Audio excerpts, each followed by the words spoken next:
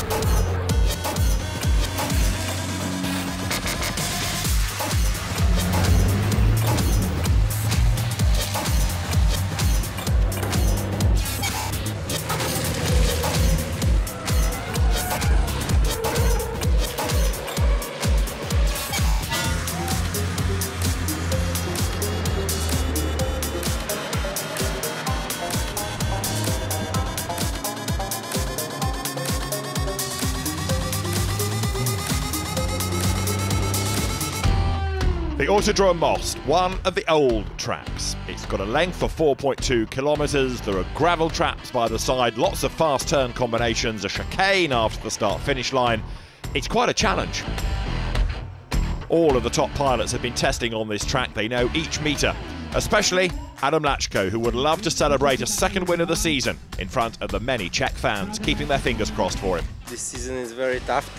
Uh, every race it's uh, very very tough. The, the, the, position is not every time same. Only Jochen it's still on the first position, but after it's everybody changing, and it's very hard to say I finished second, first or third. But I would like finish on the top position, and I hope we fight with Jochen for the first position. Jochen Hahn has already won eight ETRC races this year. He leads the championship comfortably. The man from Altensteig would like to further optimise the Iveco race truck coming back from the summer break and continue that performance of the first half of the season.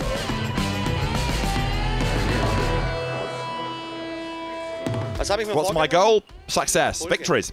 A fair fight for the championship. I believe that we are ready for the second half. I don't want to say that we are relaxed, but we're calm and focused. Now we are concentrating on optimizing, being constant, and I do think that we have a realistic chance for the title this year. Optimieren, konstant bleiben und dann glaube ich, können wir realistisch um den Titel kämpfen dieses Jahr. Antonio Albacete is second in the Drivers' Championship. The Spaniard continuously scores points in the first half of the season and has had some great results. That's where he would like to continue. Our goal is uh, trying to, to keep this second place. It's going to be difficult because it's a good fight uh, for that uh, for that place, you know. But uh, yeah, I mean, our goal is uh, just to, to try not to have any any trouble, any mechanical failure, or any accident. So keep fingers crossed, you know. Norbert Kiss is fourth at the moment. The Hungarian driver from Tankpool Fiat Svansig had a win in the fourth race at the Nürburgring, finishing the first half of the season with great success. Of course, he would also like to continue that success strike. We have our goals set for this season. I think half of them we met already. You know, like win a couple of races. We did win a couple of races already. But you know, we still we still keep going. We, we fight for the for the second or the third position in the championship, which would be nice to have. But I can see it will be very difficult. Taking a look at the overall championship ahead of the fifth race weekend of the season shows the positions, with Jochen Hahn leading with a gap of 67 points, heading towards his sixth European Championship title. The base for his dominance, very good qualifying results. Hahn scored seven out of eight possible pole positions in Super Pole sessions, and his worst qualifying result thus far has been third. That's what others would dream of. In Saturday's Super Pole session at Most, the expected fight happened. Lacko versus Hahn. The two former ETRC champions have matching times. In the end, Jochen Hahn is 77 thousandths quicker than Adam Lacko in the Buggyra Freightliner. The Iveco pilot scores his eighth pole of the season, his seventh in a row. I have to be honest, I'm craving it, but it was close. And probably, I don't have to mention that I made a mistake in my lap. Maybe Adam made one too. He's clever too. It was very close, it was enough. One is one. Now we have to stay in that position during the race. Nee, das war jetzt knapp, aber es hat gereicht und eins ist eins und jetzt müssen wir natürlich in der, ins Rennen gehen. Ahead of race one on Saturday, great weather conditions at Most, about 30 degrees. It's a hot, action-packed day for the drivers. A familiar picture for loyal ETRC fans. Pole position for number one for Jochen Hahn and his Iveco racetrack, known as Julia. Next to him, local hero Adam Lacko, who is very happy with the front row, but there's going to be a big fight. I think we will be fine in managing the start. I'm focused now. A good start. I'll try to keep my nose in front to force him to respect me going ahead. That's half of the game. Then we have to test how quick we can go during the race. That's uh, what I don't know yet. Every time when we're racing side by side, I think it's a nice race because we respect each other. And I hope today it's again same and the better is on the front. One row behind them, Steffi Halm and Andre Kursim, and Iveco row with two German drivers. While Antonio Albacete is only on P5 and Norbert Kiss is seventh. Of course, most of the spectators are Lacko fans, anticipating the start of the race.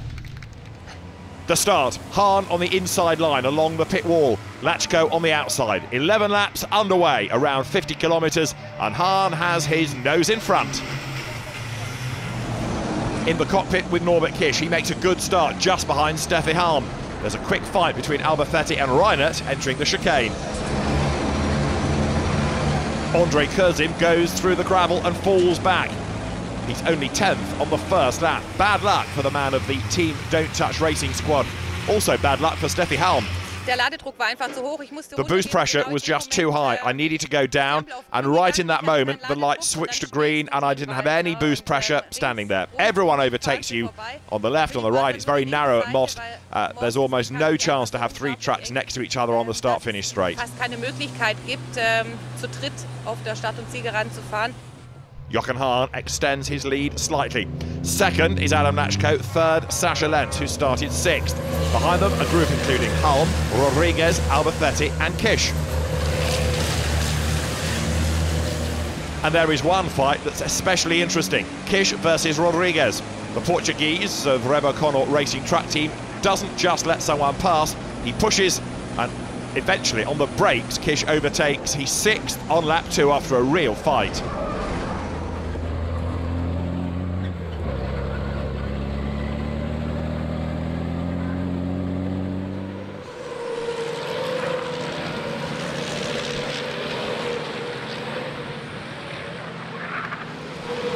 Andre Kursim behind Rene Reinert is 10th. And again, he needs to go wide and run through the gravel. The frustration is big. The rear camera of Norbert Kiss shows the fight with Jose Rodrigues hasn't ended just yet, but it has left its marks.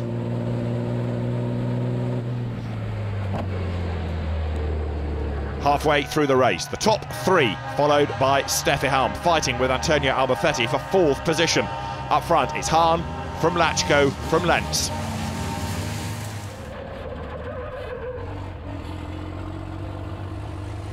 Halm is keeping Albacete at bay, but only just.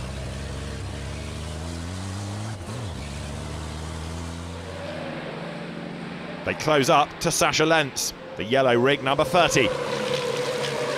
It's a three-way fight, and now Steffi Halm is sandwiched in the middle. In the meantime, Norbert Kiss receives a drive-through penalty due to crossing the white line at the start. Bad luck for Kiss because the incident was caused by a problem that Steffi Halm had, and Kiss was only trying to avoid a crash by going to the outside. I think safe enough without any contact, you know, with anybody, and we still get a penalty, you know, because of somebody else made a mistake at the start, you know, and you had to avoid it. So I think it's a it's a bad regulation, but you know, okay, it's a regulation. We we know about that. We know about this regulation. We know it's there, you know. So I guess it's still my fault, you know. So I'm I'm sorry. Lap 10, the second to last lap. Albacete attacks. Wow, that could have gone wrong. Halm and Albacete get lucky. And Sascha Lenz, he seems to have small problems. There's a puncture for Sascha Lenz on the front right. How tough is this sport? Third place vanishes. Steffi Halm says thank you, just like Antonio Albacete, who both overtake the German, who has to retire the truck shortly afterwards. One and a half laps before the finish, there was a big bang in the cockpit, and shortly after a second bang, uh, that's when we went out. What happened during those two bangs? During the first bang, the tyre cover of the front axis flew away for whatever reason, no idea. That led to damaging all of the plastic parts, and shortly after the tyre, uh, because I continued driving as there was still air in it, but that's when it completely burst, and that's when the race was over for us. Last lap, Jochen Hahn controls the field.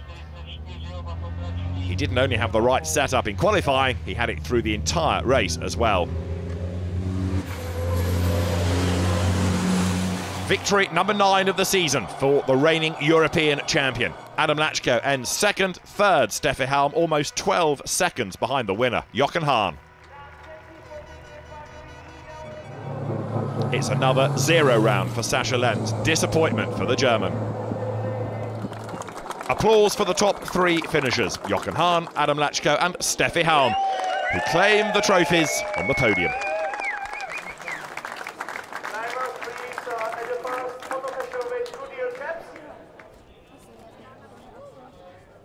In that moment, you are just so proud. And of course, the whole team, everybody who does their part, that's uh, sugar sweet, just like champagne.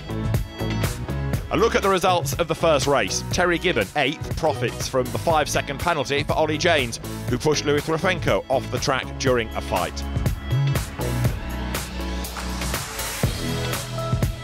Ollie Janes celebrated his victory on the podium. At that time, he didn't know about the steward's decision. The second placed Gibbon, who is now the winner of the Grammer Truck Cup, collects 20 points for the Drivers' Championship.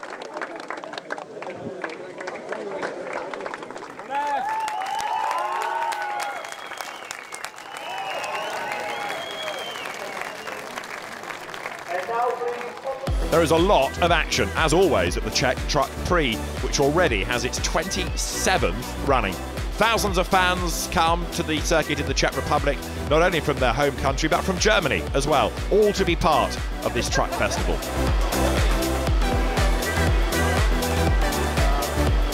Most of them look for seats in the natural grandstand. From there, they have the best view of the wide parts of the racetrack.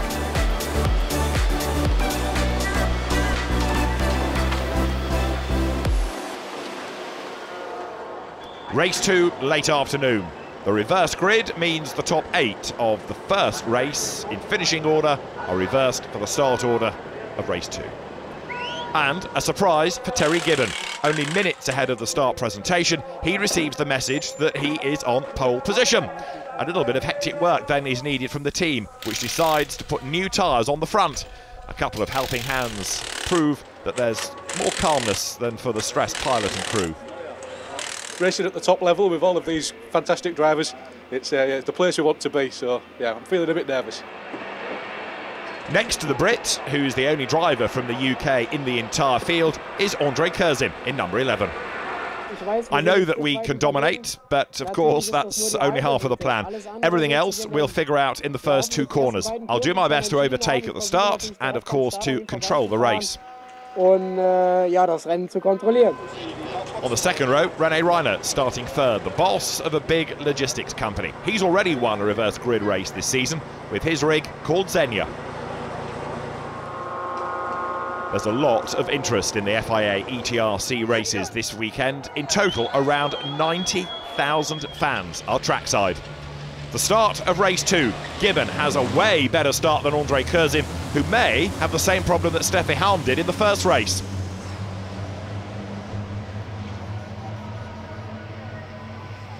Down to the first corner. Gibbon on the inside, Reinert on the outside. But he's on the inside for the second part of the chicane. With the better traction, he takes over the lead from third to first.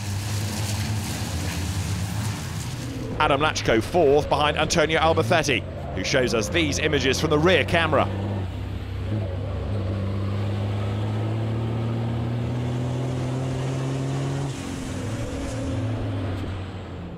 The Spaniard in the truck of Lutz Bernau behind pole sitter Gibbon shifts earlier, better torque and overtakes the Brit, who is, after a couple of metres, now only third, and a little later fourth when Adam Lacko goes through.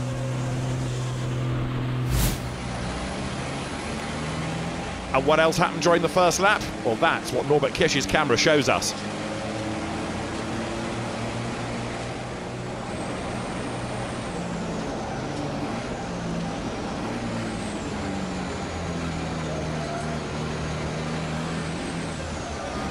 It's typically hectic racing.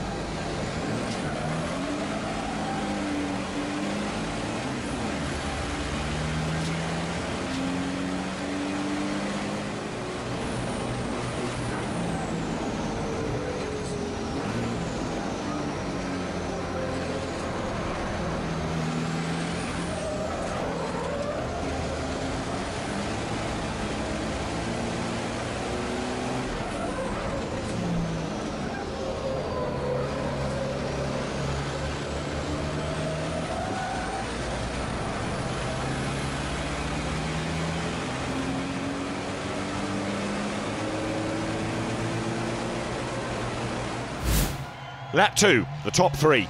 Behind them, Gibbon, Rodrigues and Hahn. Kursim is only 10th, Lenz already 11th, and Norbert Kiss 14th.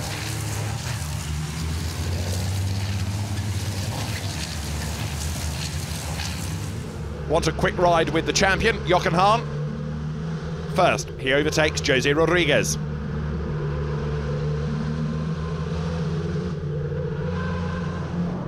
Then he makes a move on Terry Gibbon. He quickly dives ahead of the British driver, moving up to fourth place.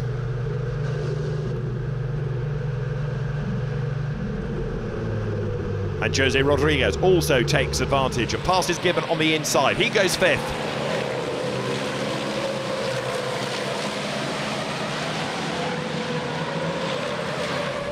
On board now with Sascha Lenz. The German started at the back of the pack, but is already up to seventh position. At some point, Steffi and Jose Rodrigues were fighting right in front of me. They were next to each other on the start-finish line, and that's when I thought, I don't want to just watch them. So I gained momentum coming out of that first chicane, immediately overtaking Steffi, and a lap afterwards, at the same point, I passed Rodrigues as well.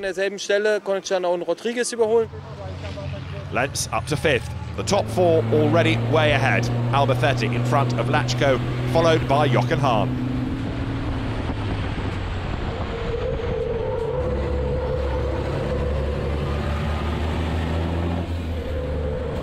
Rene Reinert tries to be as wide as possible, profiting from Albacete needing to defend himself against Lacko and not being able to fight Reinert. I tried to fight with um, with Reiner, but he was closing very good the door. I, hope maybe he will make a mistake, but uh, no, he was very good. He drives very well. He didn't make any mistake. So yeah, I mean, also I have to watch in the mirrors for Adam, you know, because he was coming coming through. And uh, yeah, was uh, I think it was a good for the spectator. It was a good race.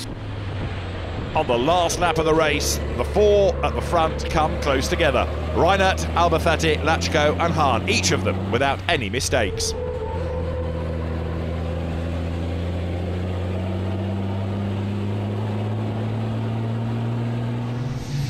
In the end, it's a win for Rene Reinert, ahead of Antonio Albacete and Adam Lacko.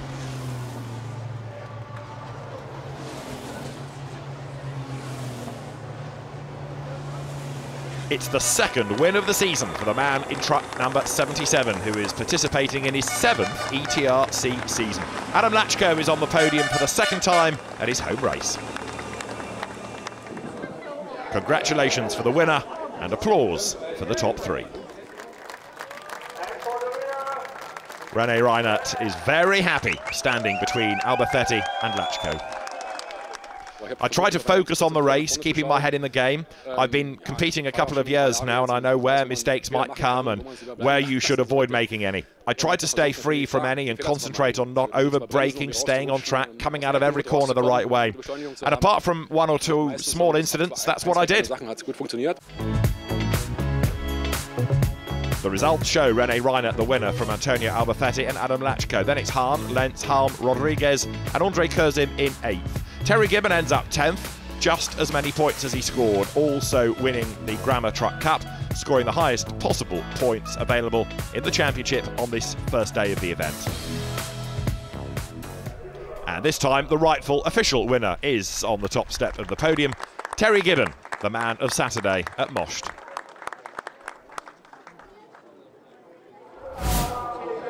Sunday was very rainy at Most. At the beginning, just a little bit drizzly, but it still leads to heated discussions on the start grid. Hahn, Lacko and Albacete keep looking at the sky. Jochen Hahn, who secured his next pole position in the dry that morning, had the windscreen prepared, and Steffi Halm looked worried.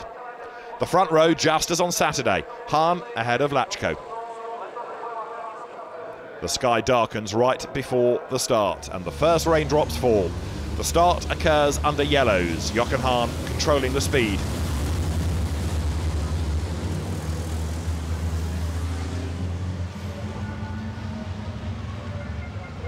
All the trucks go through the first corner without problems, of course, as it's not permissible yet to go racing and to overtake.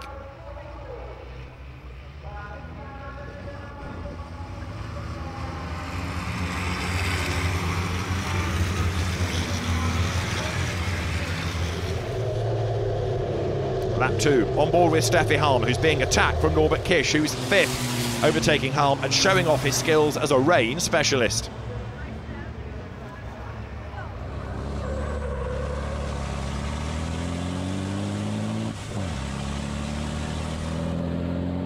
But at the back of the track, the rain gets very heavy, while the start-finish line only gets a few drops. Norbert Kiss on the outside against Antonio Albacete the best overtaking manoeuvre of the entire season. The Hungarian passes the Spaniard round the outside up to third.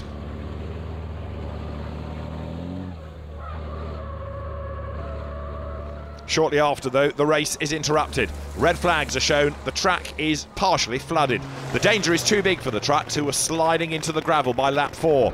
Hahn was the first, but others followed him off the road. The trucks come back to the pits and wait for better weather conditions. In the moment when it starts raining, we go with Jochen, and when I see ah he have a problem, and I go a little bit slower, and in this moment Jochen goes straight, and I go behind him because it's not possible to turn over the circuit. It's big river, and when I look to the mirror, I think it's everybody go there. And in this moment, it's come the red flag, and I think it's very, very good decision because it's on this condition, it's very dangerous. Under these conditions, when we stopped the race, I wasn't even able to go 20 kilometers an hour, uh, if that. And that's when there was no choice other than to wave the red flag. The rain doesn't stop. Two hours later, there was another attempt to race again after trying to brush the water off the track.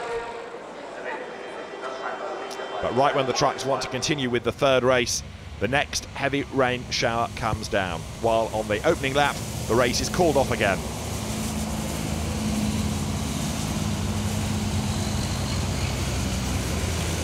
We were behind the pace track and we were aquaplaning at 60, so it was impossible to race, impossible. But I don't know, let's hope that uh, stop raining and, and, we can do something, but uh, doesn't look like. Shortly afterwards, all activities at Most are called off. The track and gravel beds are underwater, the spectators flee, the trucks lonely and lost in Park Fermé.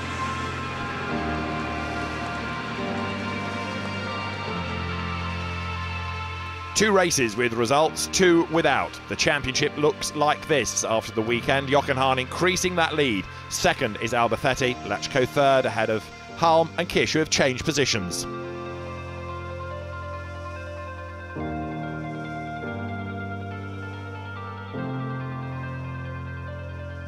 Next up is Zolder, where we hope to be able to race without rain or other incidents.